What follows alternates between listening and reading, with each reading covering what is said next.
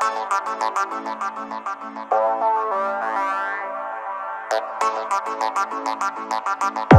you.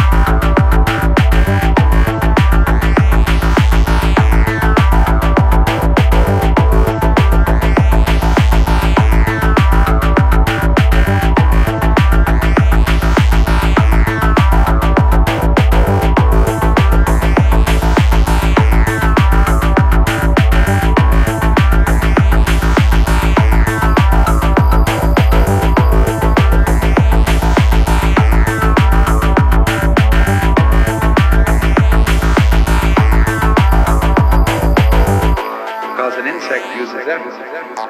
Like a person who rows a boat uses effort. The man who puts up a sail is using magic.